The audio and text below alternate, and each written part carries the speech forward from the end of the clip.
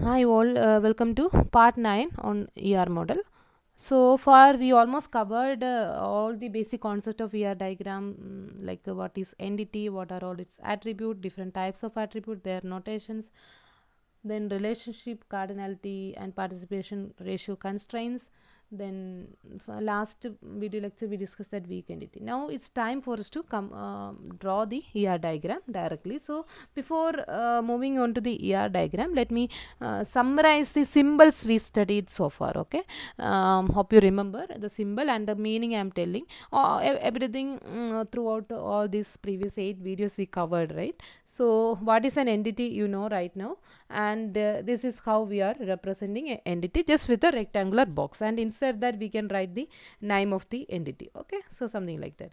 And uh, weak entity, hope you remember, uh, it is not having a key attribute. So dependent uh, is an example, right? Dependent. I'm just keeping. Uh, here it is about the notation only. Anyway, I'm writing also. Uh, so mm, we will relate it with a strong entity through an identifying relation. That also hope you remember. And relationship uh, like employee works for like that. And this is the symbol, the diamond mm, shape. And uh, again with the double line we use for the identifying relationship like uh, dependent depends depends on something like that okay? Now attributes hope you remember like uh, the name of an employee um, address and uh, other things we are using this oval shape. And we uh, relate it with the uh, particular entity using a straight line. And this is a key attribute. You hope you remember that social security number something you can take as an example. And multi-valued attribute say locations of a department or a simple example phone number you can take. One person is supposed to have more than one phone number in that way. Okay. Now this is a composite attribute that address attribute hope you remember address uh, like um, the street uh, city state okay country city like that you can uh, decompose it further. This uh, again street number like that you can if you want you can decompose it further also. So some kind of hierarchy you can think of okay composite attribute. Some derived attribute uh, hope you remember that the age we are not going to store them in the database. Like a date of birth you will store and using date of birth and the current date you can derive this age information. So that dotted oval shape is what we are using for derived attribute. Some examples only i am writing inside the um, symbols. I think it is fine for you.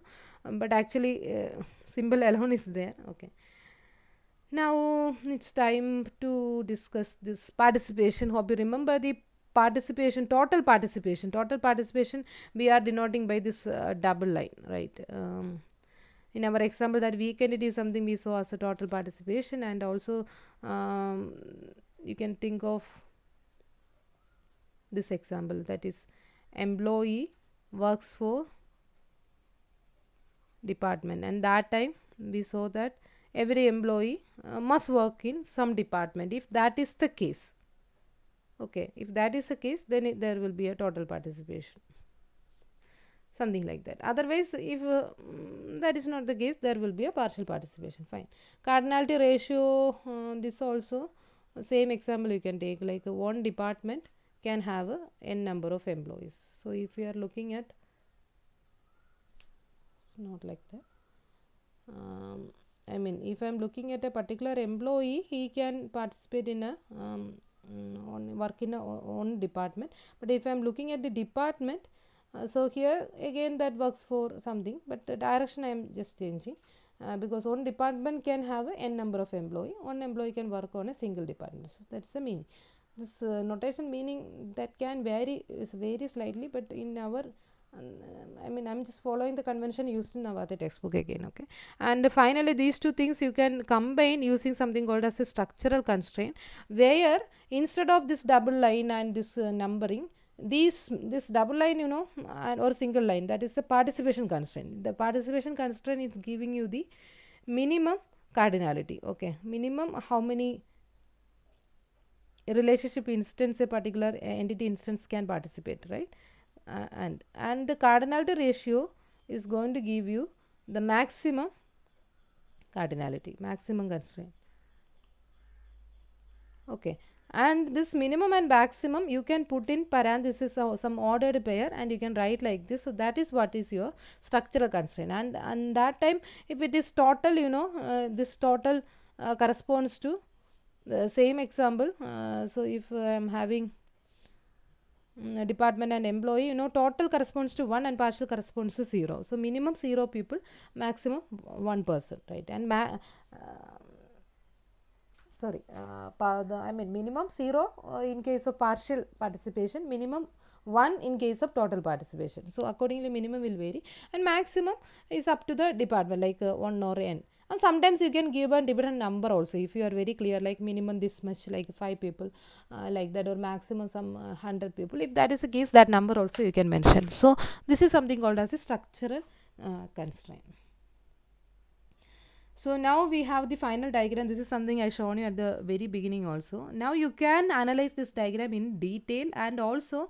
from the given set of uh, specification that you collected from the mini world, you are supposed to draw something like this. So that is the whole thing, right? So how you are going to draw this? Uh, that one by one uh, you have to develop the skill and that is the way i organize the lectures like initially we discussed what is entity what are attributes then we draw this diagram without this relationship hope you remember like entity and so in exam also you can try that way like uh, you just uh, fo- focus on the entities and their attribute and draw them independently then you find out different relationship possible. So based on the specification given and something you can assume in your own way if needed like uh, that uh, weak entity identifying relationship those things and uh, you can uh, uh, mark them. And then after you have to think about the cardinality the minimum cardinality and maximum cardinality. So here uh, the uh, cardinality ratio and participation constraint they are represented differently and uh, one by one you take each relationship and try to understand why it is n or why it is 1 okay what could be the reason? So that you think about in the background. So most of them are from the mini world specification only. And the same thing you can represent using structural constraint also. Maybe uh, i will uh, uh, take that example also. When it comes to structural constraint this uh, where to write this ma- n and 1 there is a slight difference but anyway at this point don't think about uh, that one that i will uh, separately tell you.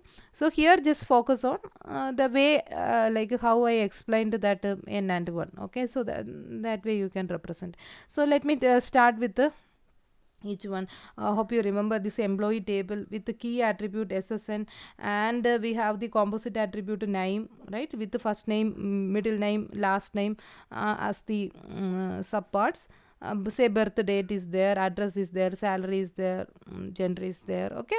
That about it. Now dep- depend department is another one where this name that is our mini world constraint. Two departments are not supposed to have the same name. That is the reason this name is becoming a key attribute okay?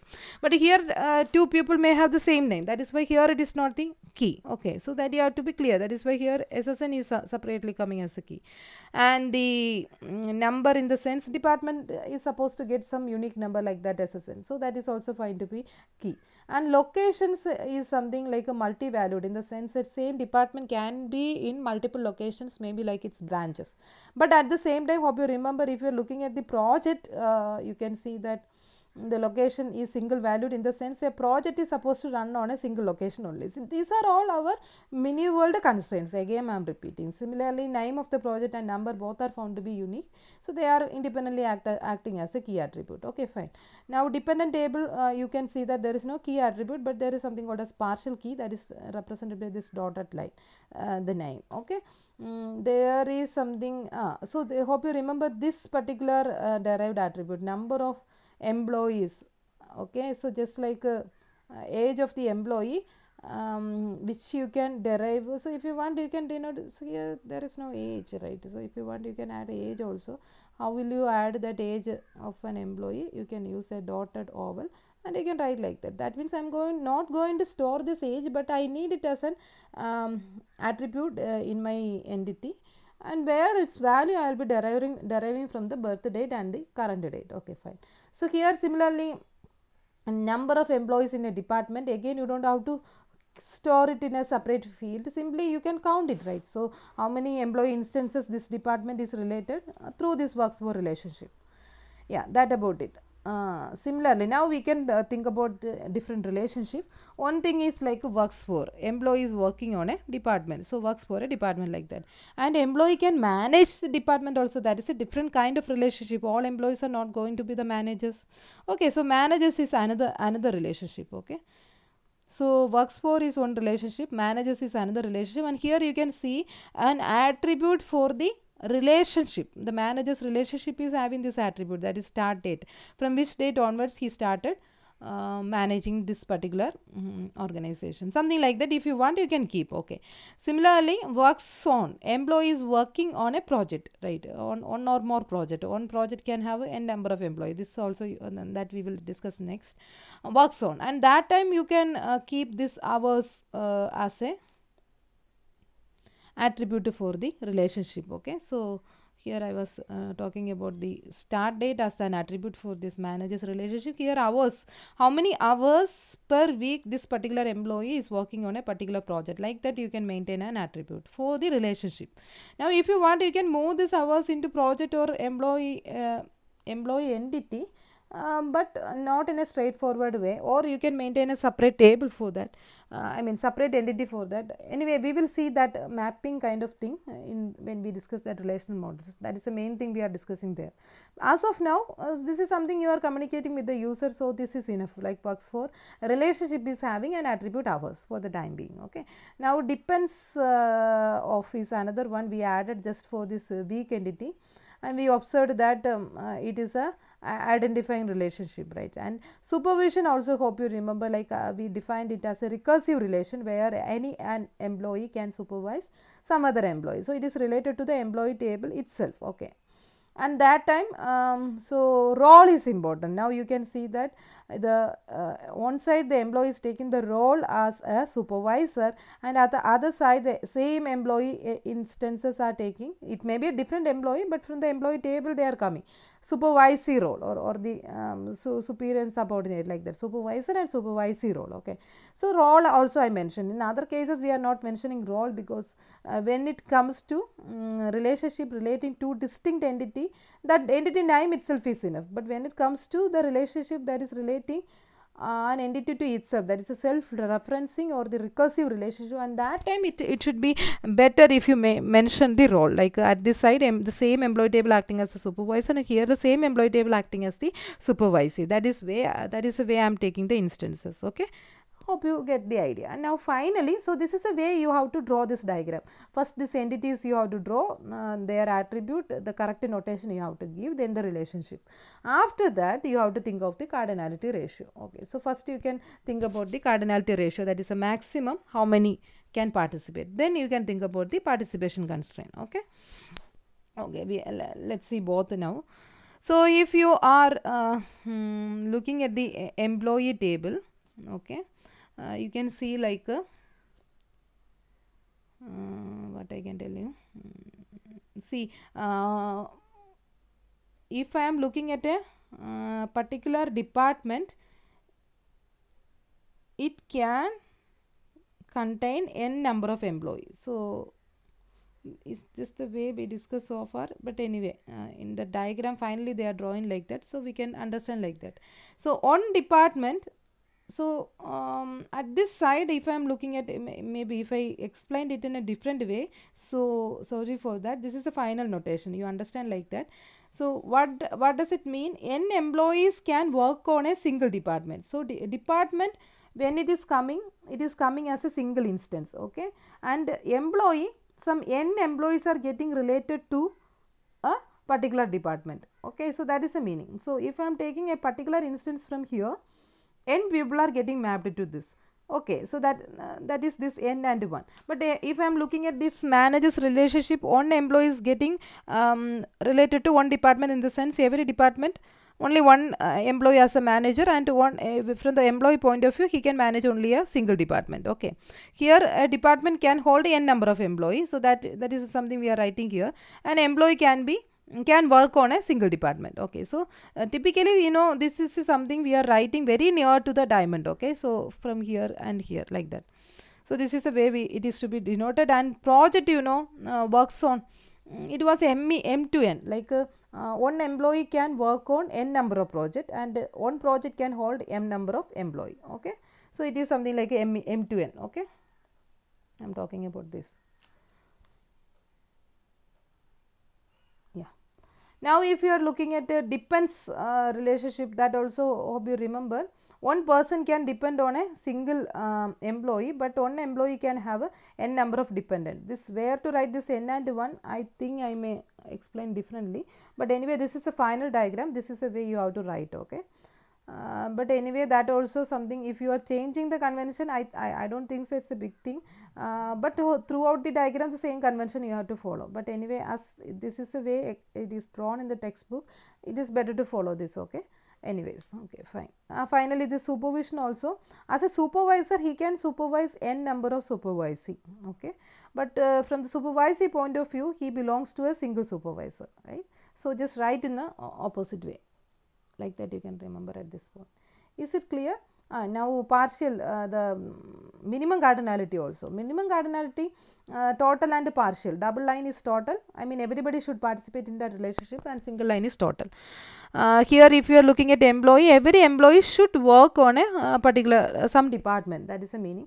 And department also we are making total in the sense it may be another constraint from our mini world saying that a department is not um, supposed to work without any employee. That is meaningless. You can say like a department under construction and but I am not allowing so I am using the term department only when uh, some employees are mapped to this at least one employee should be mapped to the, that department otherwise I can't call it as a department. So that is why this side also it is getting total every every department should relate to some employee here.